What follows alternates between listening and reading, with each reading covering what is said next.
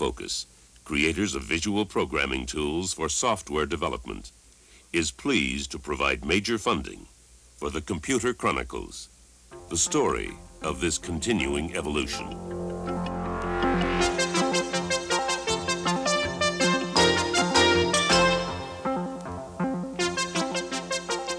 Welcome to the Computer Chronicles. I'm Stewart Cheifet, and this is Gary Kildall.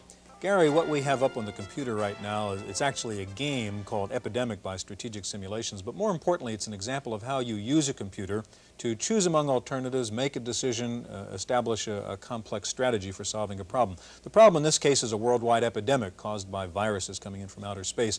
What we see here on the first screen is a view of the world, our first bit of information. It shows us the different regions of the world. For instance, region 7, which is in Western Europe, it shows us we have a 2.5 level epidemic there. The arrows show us whether it's getting worse, better, staying the same. We have a projection in days. In seven days, it'll get really serious in that country.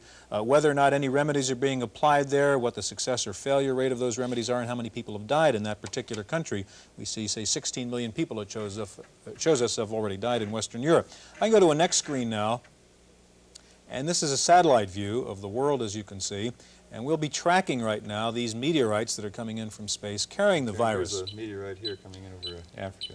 Exactly. Mm -hmm. And uh, we now have to decide whether or not to use missile launchers to try to intercept these things or whether we should just go ahead and try to solve the epidemics on the ground.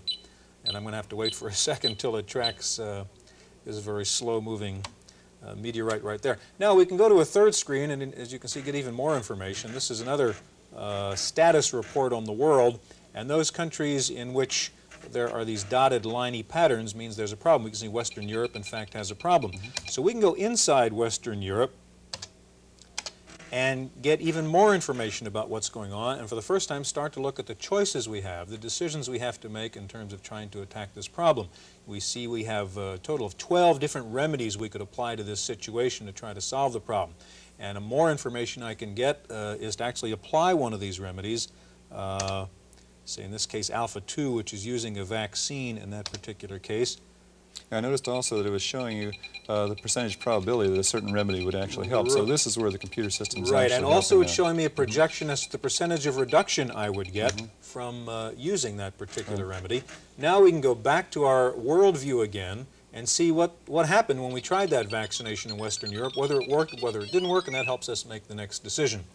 Now, this is just a game, Gary, but as I say, it's a good example of how the computer helps me make decisions, choose from alternatives. What we're talking about more or less is something called computer-aided decision-making, I suppose, or decision support systems, and like some of these other things we've talked about, the first trouble is trying to define mm -hmm. what it is we are talking about. How would you define a decision support system? Well, I think a decision support system is a catch-all phrase for a lot of different concepts.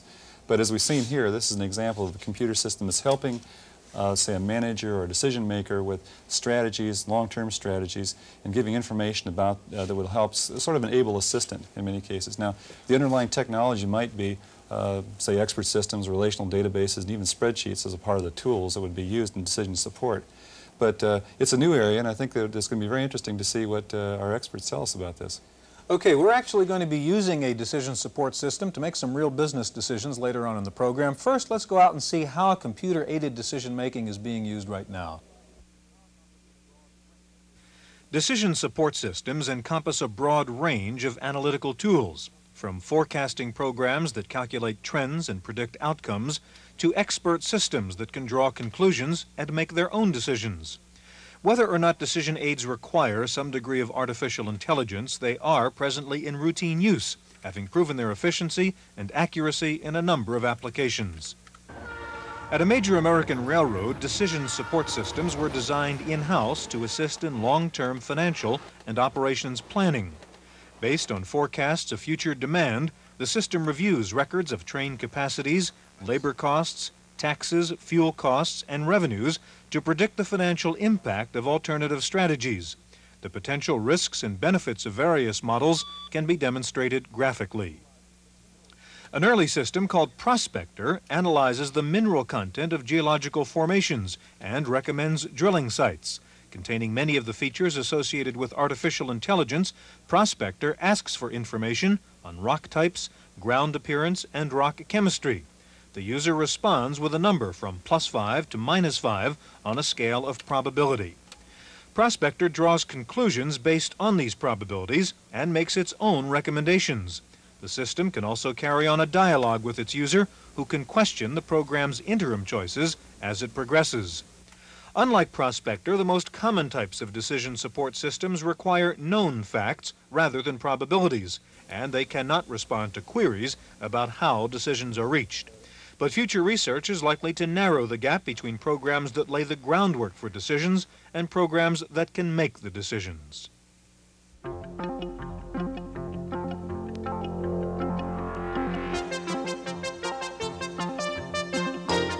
Joining us now is Mike Thoma. Mike is Vice President of Management Decision Systems of Boston, Massachusetts. And next to Mike is Steve Weil. Steve is Vice President with Syntelligence of Menlo Park here in California. Gary? Steve, uh, I guess the concept of a decision support system is a relatively new idea, at least a commercial application. Can you give us some idea of how uh, decision support systems are actually used? Yeah. Well, we actually specialize in decision support systems that are sometimes called knowledge base or expert systems mm -hmm. that try to bring uh, the actual judgment uh, of an expert to the desktop of a manager or a business professional in the course of making a particular kind of decision. For example, we're working right now on a system that will help commercial lending officers at banks make decisions about small companies and their credit worthiness. So we'll actually try to capture the type of industry knowledge that a lender who had been lending for a long time to the restaurant business or some other business would bring in analyzing the financial statements and management experience of a restaurateur uh, in deciding whether or not they're worthy for a loan that they're applying for. Mike, does a decision support system have to be the expert system like Steve is describing? No. Um, decision support systems don't need to be an expert system like Steve is deciding. I, have related a lot of times when people have asked me that question, a story that happened with my father, who's 78, a consultant. I said, Dad, I'd like you to sell you a decision support system. He said, I don't need a decision support system. I make the decisions. You give me an alternative evaluation system, I'm interested, but otherwise, forget it. So I think that um, the, the requirement of adding on an expert system is like hiring a consultant and a decision support system can be used as a very well-trained uh, assistant who's going to carry out the analysis that, that I direct. And it provides you with a lot of high-level information as a result of that. It'll provide me with a lot of high-level information and um, analyses and maybe, mm -hmm. hopefully, even more questions. Is interactivity a key element of a decision support system? I mean, does the system have to respond uniquely to the questioner? My own feeling is that the decision support systems really do have to be interactive. And the reason is that you're in a decision-making process and it's very close to an innovation process, which is you have an idea, you'd like some feedback. And to operate in a non-interactive mode would be to say, gee, I've had an idea, what do you think about it? Uh, send it through the mail, uh, 13 weeks later you get an answer, no. I forgot what I said, I forgot what the information was, and I, I haven't uh, been able to do it. So it's um, interactivity and responsiveness to an idea that generates another one. This is typically, typically going to be then uh, connected to a larger computer system where there's some sort of a database that gives you the facts and figures that you're going to try to put together then. You certainly um, want to be operating in an interactive environment, and I think the, um, and you certainly want to be connected to a computer, um, whether it's big or not, mm -hmm. I think it really depends on the problem. Uh, right.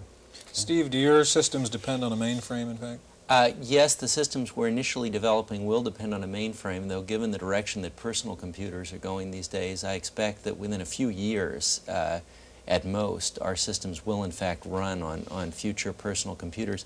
On this element, by the way, of interactivity, we are so concerned about that uh, that we have spent a lot of time ensuring that our systems provide full explanation of how they came to the conclusions they came to. We think that managers and professionals do not have the ability to point at the computer and say, the computer told me to make that loan. Uh, now it's too bad that uh, the company went bust or whatever. We think that really our products have to work as a staff assistant in the same way that a good staff assistant would explain how they came to a conclusion. They need to give full explanation of their reasoning. Mike, you have your company's system up here, and the hypothetical we're creating here is uh, suppose the Computer Chronicle Show would like to buy a software company, okay, and we want to use your system to help us make that decision. Uh, and we initially, I think, identified, what, 62 software companies that were out there. Mm -hmm. Now, how would you use this system to give me the information we needed to, to make that decision? Okay, what we have here is a, a database of Standard & Poor's CompuStat data in a product that we market called Express Easy Scan. And as you suggested, we've zeroed in on the, on the uh, software marketplace. We'll pick it up here and let's say, let's see what publicly held companies um, are going to show up that are in our 62 um, consideration set. So what again are you asking for now, Mike? Do you, are we interested in seeing those companies Yes, right yes, now? Let's yes. just take a brief look at, at those 62 companies, um, which will just roll right through here. Um, they're in any random order. They happen to be by the ticker symbol, so it would be like uh, scanning through the, um, the San Francisco Chronicle or whatever through the, through the pages at the back and saying, gee, these are the companies that happen to be in the, in the software business. And my job right now is to zero in on those that I, I think are, are more interesting. And my first cut, um, now that I see that there's 62 and my decision isn't simple, um, I'd like some help in, in going a little farther. So um, one of the things that I'm interested in is um, um, to be able to say, I like a really high growth company. So um, I'd like to screen on a company um, a little bit farther and so rather than just taking those 62 that are right there, I'd like to use some data that's in the database uh, to help me with that. And so EasyScan is asking me which screening criteria do I want. I'm into growth, and I'd like growth greater than, let's say, um, 30% um, sales growth. Um, let's say it's over the, uh, the- since ending up in 1982, since some of them may have different um, time periods that are sitting in there. So what- you're asking for a subset of those 62 which have a growth rate of 30% or more over the past five-year period up to 1982. compound growth rate. So we've seen that the um, EasyScan has given us 12 companies are now in consideration. Um, I'm curious as to who they are. Uh, that might give me a, a hint. Um, but before looking at them, I might want to rank them a different way, and that might give me some more information rather than just the, the raw data. So I'll ask the company, the um, ask EasyScan to jump over and and move into a ranking mode. Um, yeah, I think I will rank them. I can operate in one finger mode and just hit one. And the sorting criteria will be on, well, in addition to growth, I'm interested in profitability, so like my president, I'll ask for margins higher preferably. and it, the system is smart enough to rank uh, numeric data from high to low, um, and the ranking is complete. So what I'd like to do now is just take a quick look at those. Why don't I show those and um, So we would now see the 12 companies which the computer has picked in the ranking you've asked it to do. right, which is on from high to low and in terms of after tax. And here they are. Right. So these first two look pretty good. Uh, I can specify those two ticker symbols, um, or I can keep it. Um, if I didn't want to see all of those, I could do it by attribute again, which is to just rank them and keep the Okay, could we get to see a graphic comparison of the top two ranking companies? You'd like the number to keep is two? You ask, we respond. No problem. All right. Two companies are in consideration. So what I'd like to do now, I'm done with my ranking. I'd like to graph. Um, for some of the people in the audience are interested in bars and venture capitalists. That's where they're found a lot. And uh, how about the last five years? That's Okay, last five years, no problem. So. and it's putting together the graph right now. Right. So it's back there thinking away. Um, and preparing a graph on those two companies, which I've promptly forgotten, um, selecting out the last five years. Um, it asked me if I want to save this for later on. I said, no, let's just, let's move right ahead. And this is Yeah. operating over a fairly low speed line. If you were plugged into your own computer, it'd be a little bit faster. Okay, you are plugged into your company's mainframe somewhere else Right, right it's now. going through the um, a public network at uh, 1200 baud. Um, I happen to operate at 4000 in my office, or the one I'm plugged into the lo little local machine that we have, it's uh, 96. And there we are. So uh, the decision is yours. Okay, now, assuming we want to go ahead and negotiate with one of these two companies to acquire them, we'd want to develop a kind of negotiating strategy. Well, that gets to our next decision support system we'll be looking at in just a moment.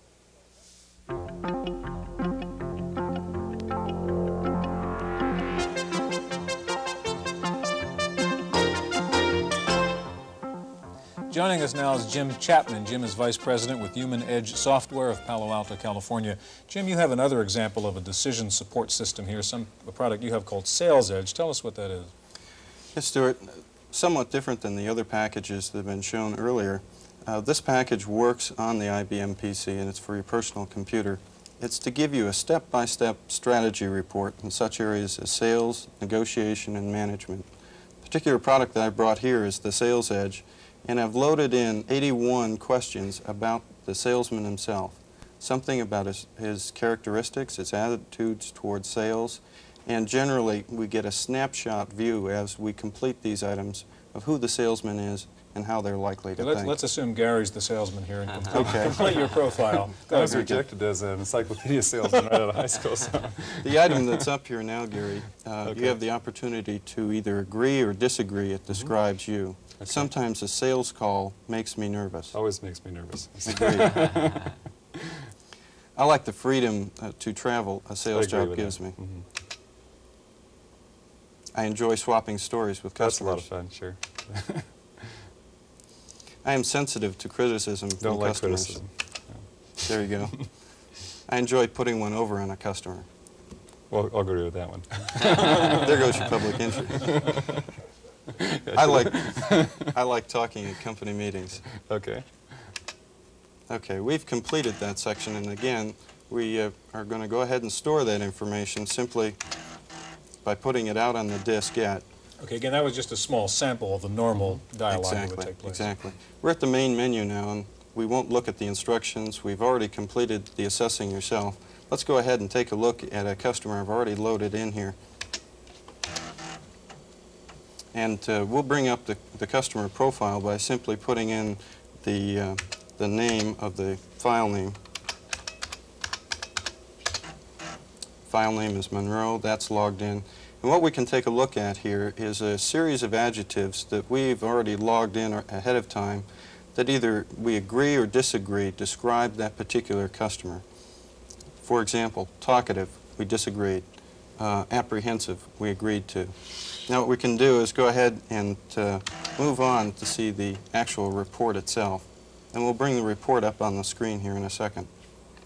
So we're now going to ask for the software's version of what strategy to take in selling this customer who's Exactly. been profiled.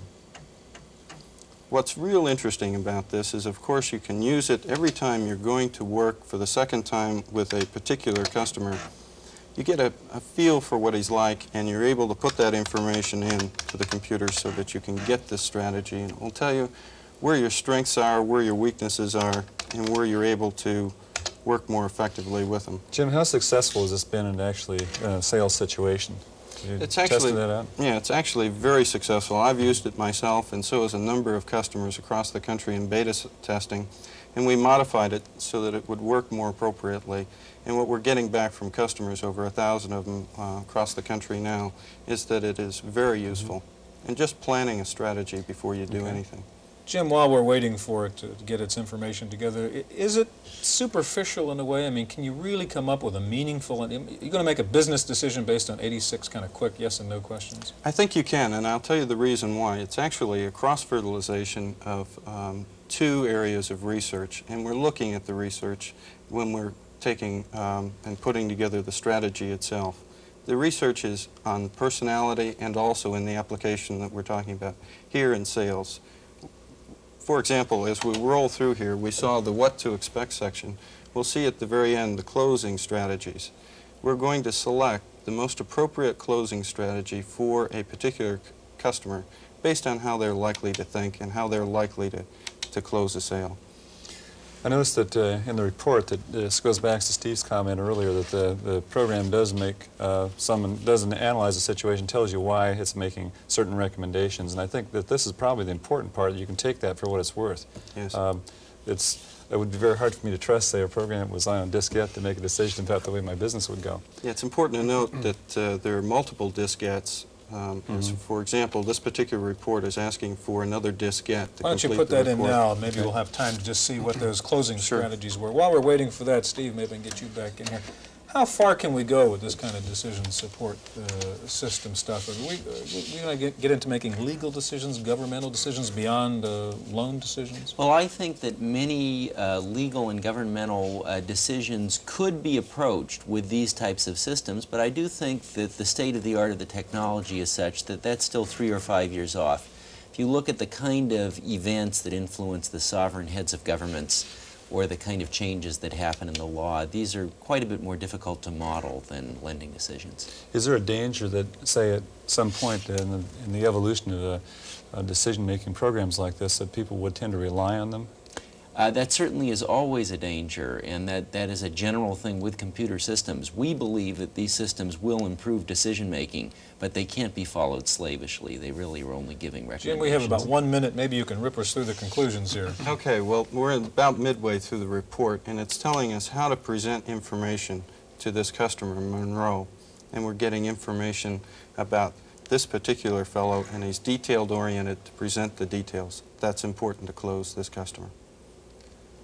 And it says, like, find out what his business needs are. I mean, that, that sounds like the kind of stuff you might just read out of a sales text, but you're saying it's tailored to these people. Exactly. If it's an impulsive character, you wouldn't want to find out anything about his business needs. You go right to the close. It's immediate close. This fellow is not one of those individuals. Speaking of immediate closes, Jim, we've got to do one of those right now. Thanks for joining us on this edition of the Computer Chronicles.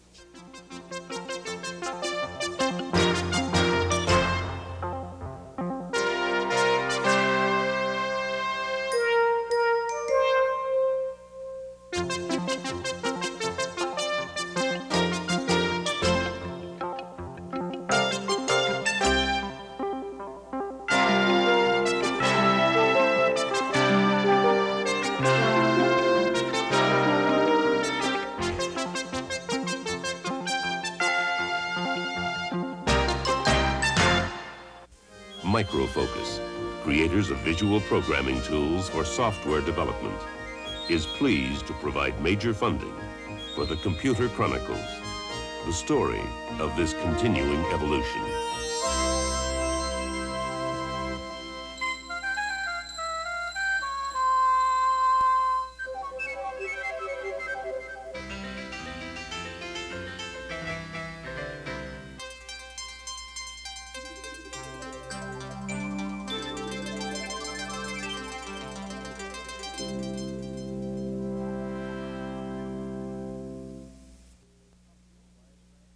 Random Access is made possible by a grant from Popular Computing, a McGraw-Hill magazine. I'm Susan Bimba, sitting in for Stewart Cheifet. In the Random Access files this week, the government is investigating 12 semiconductor makers across the country. All are suspected of selling faulty, counterfeit, or inadequately tested chips. Officials of National Semiconductor say it's likely the company will be indicted soon as the result of a grand jury inquiry. National Semi has been under investigation for about two years, suspected of inadequately testing chips it sold to government contractors. The chips have been used in everything from military jet bombers to satellites to radios and walkie-talkies. In 1982, National Semiconductor admitted its chips hadn't gotten the required hours of heat stress testing and was barred from selling to government contractors for about three months. The company and its officials could face criminal charges, be fined, or be sued by the government for the money paid for the chips. New legislation has been introduced that should make computer hackers here in California feel a little less secure. The state legislature will be reviewing a proposal that would make it a misdemeanor to break into any computer system, even if there's no malicious intent. The hacker could be charged with a felony if malicious intent is proven. The current law addresses the problem of malicious hacking, but supporters of the proposal say the old law is too narrow in its focus. They say the new proposal might keep some potential hackers from invading computer systems for the thrill of it. Commodore has released the figures for its second fiscal quarter. In the quarter ending December 31st, Commodore's profit margin was $50.1 million. That's more than double the profit margin of the previous year's second fiscal quarter. Commodore is also experiencing a major shift among its executives. Four have resigned in the last two weeks.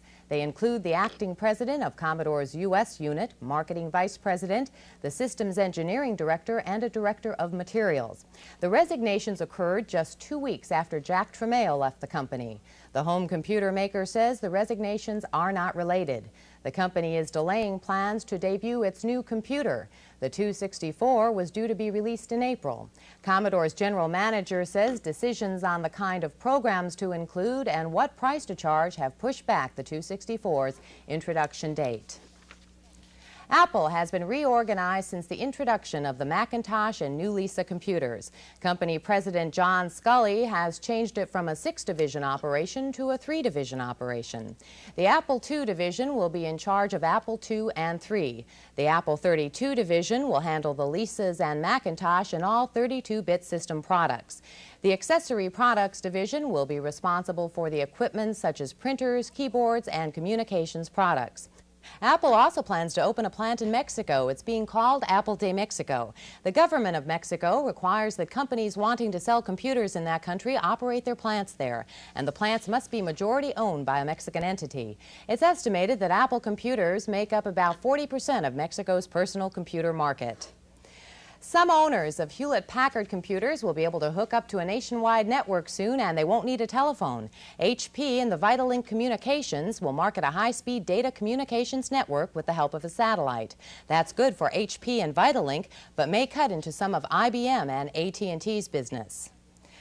400 workers of the Storage Technology Corporation got the news that they were being laid off. They were called into the cafeteria of the Santa Clara plant Friday afternoon and told they had to be out of the building in about two hours. Storage Tech was working on a large IBM-compatible mainframe computer.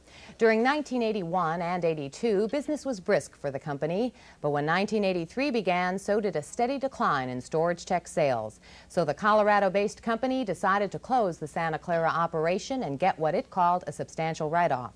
Approximately 100 employees will be held over so the company can make use of the chip technology it's developed in the Silicon Valley.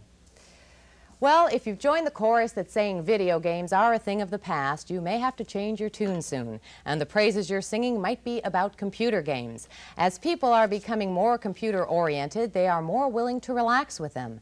And what better way to break up the monotony of working at a computer than by plugging in your favorite entertainment software and playing a while. Several Silicon Valley companies have switched from video games to computer games and say business is booming. But both video and computer game enthusiasts say they can coexist and make a profit at the same time. That's it for this week's Random Access File. Stewart Cheifet will be back next week. I'm Susan Bimba. Random Access is made possible by a grant from Popular Computing, a McGraw-Hill magazine.